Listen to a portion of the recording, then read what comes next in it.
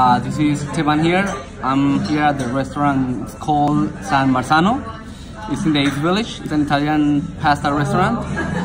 And um, it's on a Thursday night. We came here with my wife. Um, it was actually pretty busy. We had to wait for about 30 minutes at the bar, but it was worth it.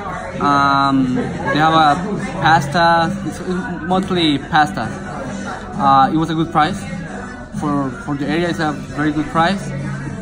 I had the pasta bolognese, and um, it was a good service.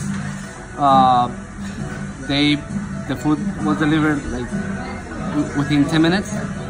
Uh, very good service. I talked to the waitress and she told me that there's only one or two restaurants in New York City. Uh, there are two owners and um, I'm definitely coming back.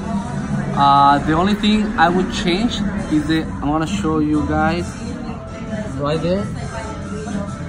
It's, uh, it's the host stand and um, I would change the way they take the, uh, the list for the, the, the guest list. Because what they do is I they use a piece of paper and pen.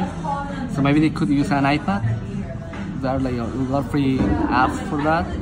And but that's the only thing besides that everything was pretty good and I'm coming back.